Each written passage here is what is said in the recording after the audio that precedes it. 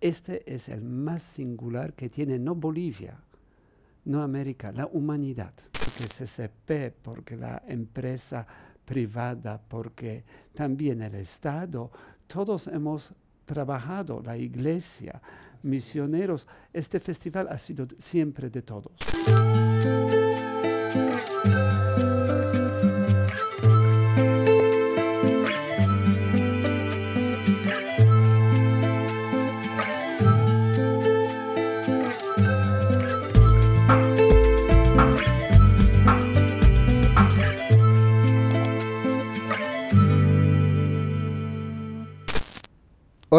Bienvenidos al último podcast del año en el CCP. Hoy vamos a hablar de Santa Cruz, de la música barroca y de uno de los festivales más importantes del país y de Latinoamérica. Algo que ha contribuido a que la imagen de Santa Cruz a que la gestión cultural en Santa Cruz llegue a niveles insospechados. Y hoy vamos a hablar como invitado especial de nuestro podcast con el padre Piotr Navrov. ¿Cómo está, padre? Eh, gracias por esta oportunidad, estoy muy bien.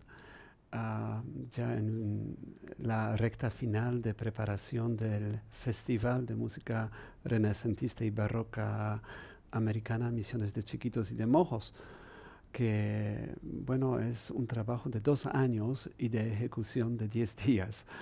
Y en las fechas 19 al 28 de abril del 2024 estaremos eh, otra vez con conciertos de este festival aquí en Santa Cruz y en todas las misiones. Padre, ¿cómo llega usted a Bolivia al archivo de, de Mojos que estaba oculto todavía en, esos años, ¿no? que no se sabía su verdadera dimensión. Y yo salí de Polonia, porque soy oriundo de Polonia, en 1981, que vivo mucho más años aquí, de este lado del, eh, del océano, que donde he nacido. Y me fui eh, mandado por Roma al Paraguay. Y bueno, el tema de las antiguas reducciones de los jesuitas, mm, que no era solamente el fenómeno de, fenómeno de los jesuitas, porque franciscanos, dominicos también tenían algo similar, pero era el tema bien conocido en Europa.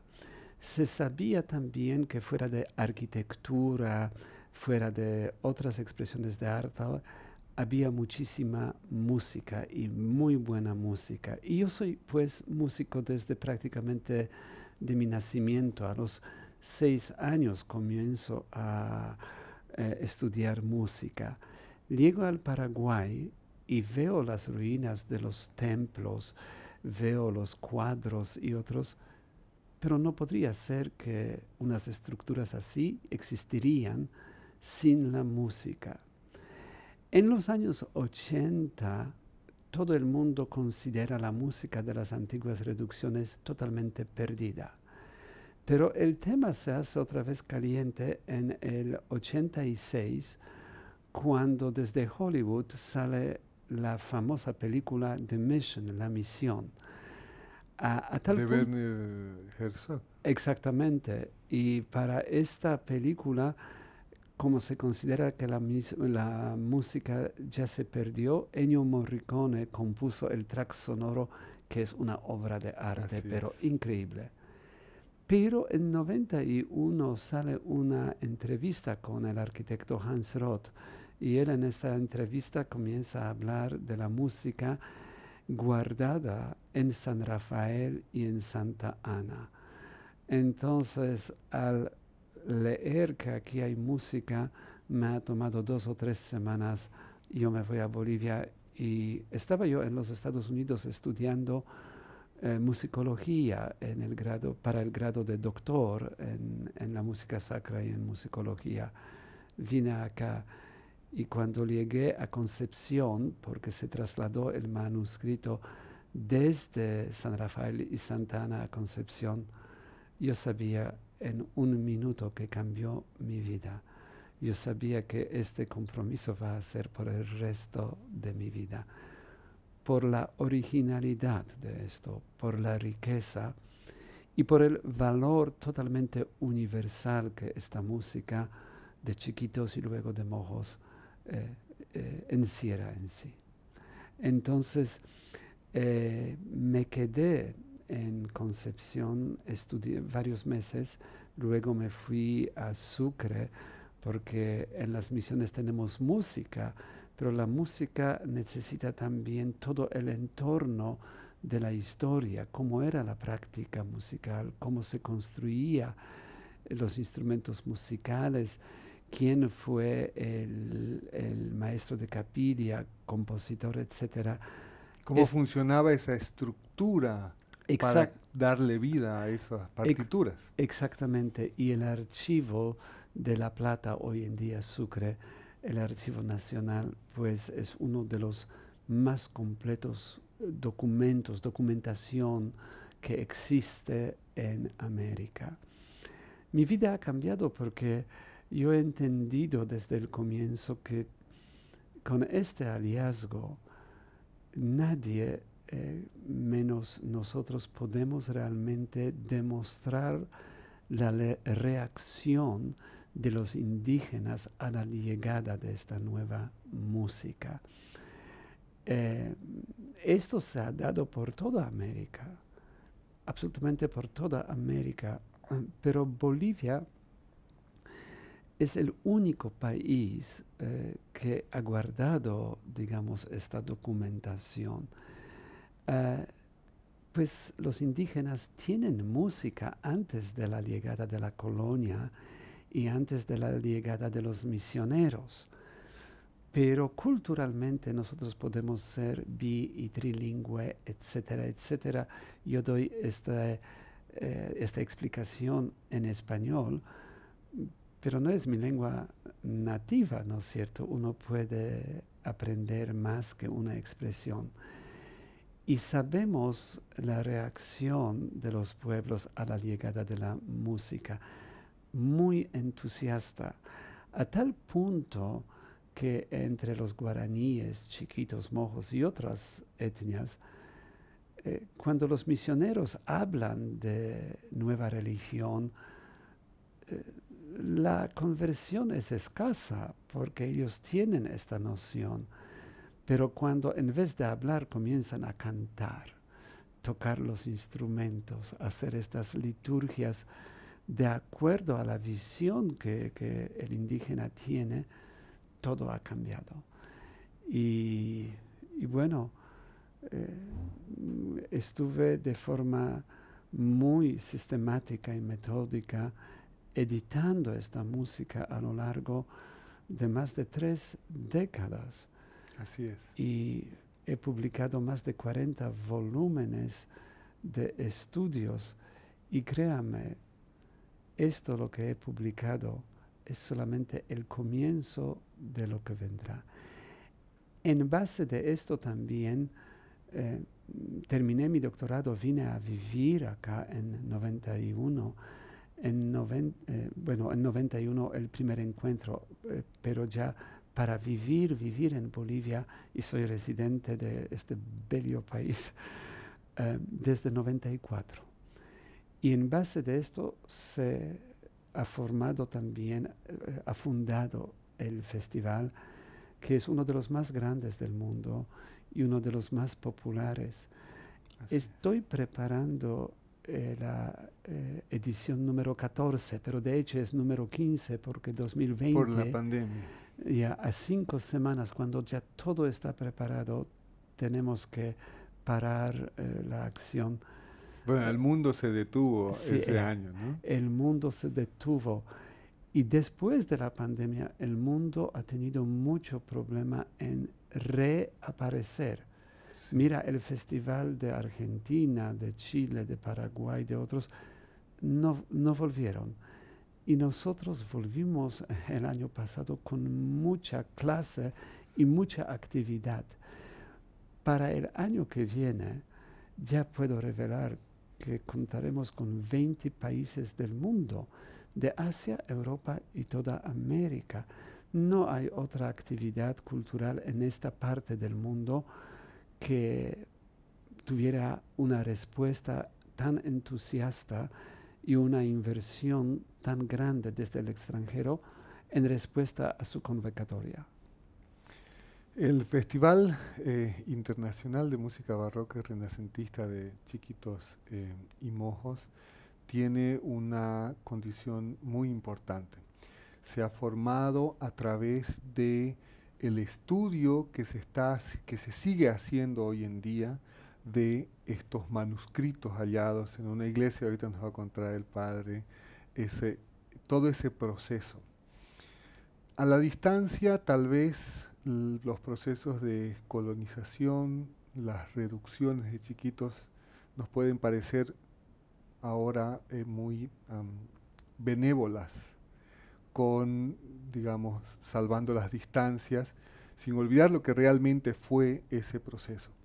Pero el resultado es un archivo eh, que tiene una fusión, que tiene los resultados de la música que trajeron los conquistadores y luego las órdenes de la iglesia, con esa fusión con los instrumentos locales, con eh, el talento innato que tenían eh, los hermanos y las hermanas indígenas de chiquitos sobre todo, y con esa, yo diría, eh, resolución de una ciudadanía que ha querido adoptar eso como un bien mayor, como un bien precioso, ¿no? como una cualidad de la, del espacio en el que habitamos. Esto es tan original que pues hay muchos archivos en América, en México, en Perú, eh, Guatemala, eh, Ecuador, Colombia, Brasil, pero ningún manuscrito con música del siglo XVII, XVIII o lo que fuera, corrió la suerte de manuscrito de chiquitos. Este es el más singular que tiene no Bolivia, no América, la humanidad es realmente algo increíble. El encuentro ha producido la creación de algo nuevo. Yo soy producto de Polonia y ciertos procesos iban a venir con conquista más temprano o más tarde, sin conquista, porque la cultura, el pueblo es algo vivo. Mm. Eh, vengo de Polonia, pero eh, en Polonia no hay un solo almuerzo sin papa. ¿No es cierto? Y, hoy en día todos pensamos que esto es nuestro producto. Maíz y tantas otras cosas. La mejor carne vacuna se come en esta parte, pues la vaca viene de allí. En cultura también eh, se dieron semejantes eh, dinámicas, procesos. Y lo que los indígenas eh, han mostrado, primero que tienen un tremendo talento musical, eh, nacen con esto. No cada obra musical de Europa les gustaba. Tenían su cultura musical bastante avanzada para entender lo nuevo en tan corto tiempo. Y no todo era tan distinto porque algunas melodías nativas se pudo anotar en el sistema de cinco líneas, ritmo, en pentagrama, ¿no es cierto? Entonces había diferencias, pero había también puntos eh, en común. La música de Europa, el indígena músico nunca quiso ser fotocopia de la práctica musical de Europa. Entonces, si un misionero trae nueva música o compone, ellos lo tocan y dicen, bonito, pero hagámoslo más bonito aún y lo componen de nuevo. Yo he bien, bien establecido que, por ejemplo, si tenemos un gran compositor italiano, Giovanni Battista Bassani, de Italia, cuando su música llegó aquí, ¿no? seis misas en latín, etc., los músicos locales dicen, no, no, esto no es tan creyente como nosotros y lo hicieron Bassani Chiquitano. Bassani Chiquitano. Y lo que más el público en, eh, en Europa hoy, en América, en Bolivia, busca no es Bassani italiano, sino Bassani Chiquitano. Música es otro tipo de arte que pintura, escultura, arquitectura. La música tiene doble compositor. Yo tengo una idea, un, sentir, lo codifico en la notación musical, pero no soy yo quien lo va a tocar, sino un músico, y cada músico lo ve un poco diferente.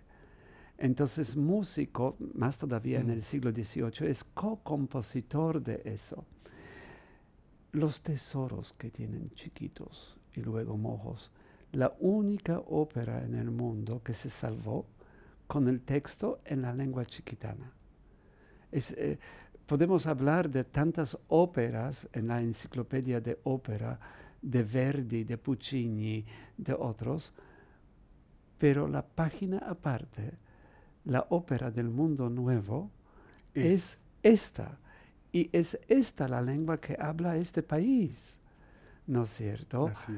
Eh, luego lamentaciones, pasiones, hay música compuesta por los locales y textos compuestos por los locales.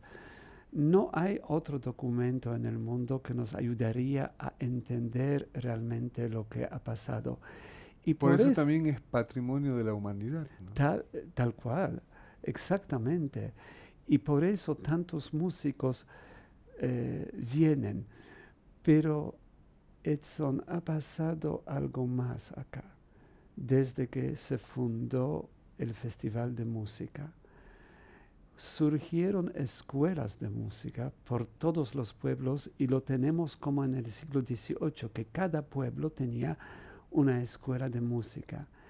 Y el talento de los locales no es algo que ocurrió en el siglo XVII o XVIII, sino también hoy lo notamos. Está vivo está vivo y, de nuevo todos juntos, APAC el organizador, pero no propietario, porque CCP, porque la empresa privada, porque también el Estado, todos hemos trabajado, la iglesia, misioneros. Este festival ha sido siempre de todos, siempre de todos, aunque los líderes eh, hemos eh, comunicado varias cosas, porque así es. Bueno, vienen artistas del mundo y quieren hacer coproducciones musicales con los locales, porque ellos lo leen las mismas notas de otra forma, con otro entusiasmo, con otra identidad propia que los grandes músicos. Fíjese que para la versión 2024 yo estuve hablando llamando desde Bolivia, ¿no es cierto? Y no que todo el mundo va a responder mm, eh, eh, lo que buscamos, pero nos conocen.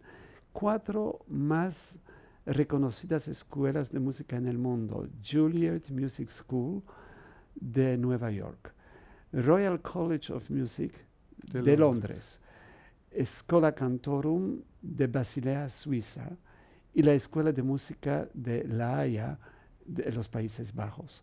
Y si llamaría más, iban a responder. Claro. Iban a responder. Y tres de ellas, eh, si no cambia algo que no, que, no, que no conocemos en este momento, se presentarán en coproducción con los músicos de Bolivia. Es increíble. Eh, viajar por la chiquitanía en nuestro en el oriente de nuestro país es una experiencia impresionante. Quienes no lo han hecho, creo que tienen un asunto pendiente. Hay que hacer la ruta de las misiones jesuíticas por lo menos una vez en la vida y en familia. Conocer esta, estas iglesias que son, forman parte del patrimonio de la humanidad junto con el archivo de las misiones. Pero como dice el Padre, ver el talento que hay en las en las escuelas de música, cómo los municipios durante estos años, tal vez un poquitito menos estos últimos, pero han ido invirtiendo en instrumentos, en docentes.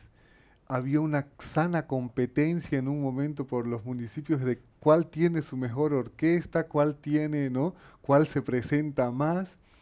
Eh, yo alguna vez, un fin de semana, me ha tocado ir a un ensayo, simplemente a escuchar un ensayo ahí en la iglesia de la orquesta del pueblo. Es una experiencia realmente impresionante. Es un destino turístico eh, obligatorio para quien quiere conocer el verdadero, la verdadera Bolivia, ¿no? La verdadera Bolivia que es completamente diversa y que tiene en esta expresión en chiquitos y en mojos una joya que es de todos los bolivianos. Esa importancia, padre, de la formación además de los chicos y las chicas ahora, en este momento. Si hay algo que tiene, a diferencia de muchos otros lugares chiquitos, es que está vivo, es que la cultura está viva, es que las ofrendas están vivas, es que eh, la liturgia está viva y, el talento de los chicos está creciendo y alimentándose permanentemente. Y tenemos gente que ha salido de nuestro país por eso, y tenemos gente que trabaja eh, y que ha mejorado sus condiciones de vida, ya que ha progresado y ha por eso, ¿no? Así es. Y forma parte de esta ebullición permanente. Eh, usted me contaba que hay un municipio en Santa Cruz que tiene 600 alumnos, tiene su escuela de música. Es Urubicha. Eh, la primera escuela de música con la que comenzamos a trabajar, uno de los desafíos más grandes que Bolivia me plantó en mi vida ha sido el Festival de Fundación 96, porque eh, yo tenía que proveer la música del archivo. Santa Cruz tenía en aquel entonces un solo coro Coro Santa Cecilia. Que sigue todavía eh, trabajando. Sigue, sigue. Pero en aquel entonces casi nadie leía la música, todo era de memoria. Y la única institución más o menos de música que había, había en esta misión franciscana de Urubicha. Entonces he transcrito la primera obra para ellos como si eh, volviese el siglo XVIII y ellos se presentaron en el festival cantando la misa Mo sábado. Mo es la palabra eh, chiquitana para. La misa que, para cantarla el día sábado, a tres voces y un violín. Y ha sido increíble esta experiencia. Hoy tenemos en todos los pueblos buenas escuelas de música, no solamente escuelas de música. A unos 20 kilómetros de Urubichá, que ya es famosa, hay un pueblo que se llama Yaguarú. Yaguarú. Yaguarú. La palabra guaraya. La misión franciscana, ahora sin el sacerdote, sin la, sin la hermana religiosa. Y hay una escuela de música. Yo he entrado y ellos se presentaron para audicionar en un pueblo donde la electricidad ha llegado hace pocos años. Los músicos que se presentaron allí luego me contaron nunca han conocido más que Urubichá y Ascensión de Guarayos y tocan como en los conservatorios de Europa. Es lo que estaba diciendo. Aquí no hablamos de la música del pasado. Esta música se originó en el pasado, pero sigue viva. La práctica, la cultura, la fe, esto tiene vida yo que soy producto de Europa, cuando llego acá, eh, tengo más oferta para contagiarme de la belleza, de la fe, de honestidad, de lo que es hermandad.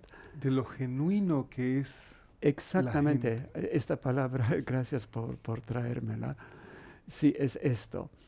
Y, lo vamos a hacer y, y lo vamos a, a continuar Tal vez vale la pena también poner aquí eh, en, este, en esta conversación 17 músicos de nuestro entorno fueron becados en grandes escuelas de música de Europa y de América. Y la primera eh, persona que es de Santa Cruz, que es Karin Cuellar, va a ser ya mi asistente en el próximo festival y ella está terminando becada doctorado en musicología en Canadá. ¿Está usted terminando su doctorado? Sí, sí, sí. Hay otros eh, que ya entran en muy grandes escenarios de producción musical en Europa, como el caso de José Coca, que canta con Cecilia Bartoli, eh, que canta en Londres, en Viena, en otros lugares. Será muy difícil tener a estos artistas en Bolivia a cada llamada, porque, porque realmente eh, no estamos hablando de fútbol, pero si fuera fútbol serían ya eh, eh, Messi, ya Ronaldo, ya Lewandowski o lo que fuera. Realmente esto ya se está dando.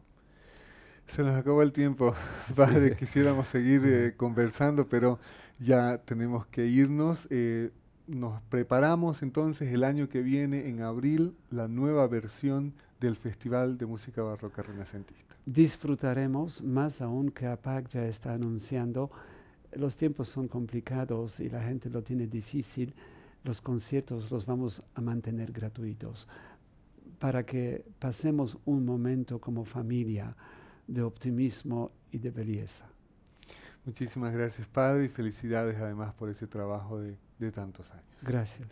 Amigos, se nos acabó el podcast, se nos acabó eh, la temporada. Nos reencontraremos el próximo año en una nueva temporada de este espacio que hemos creado en el CCP para compartir, para dialogar, para reflexionar, para conocer qué están haciendo los artistas, los gestores culturales, los activistas, los artivistas de Santa Cruz y del país.